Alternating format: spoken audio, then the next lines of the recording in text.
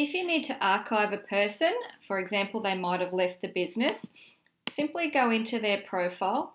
I would first suggest double checking that their role has actually been terminated. This will give you a historical event. Click on the cogwheel above their profile and simply archive this contact and hit submit.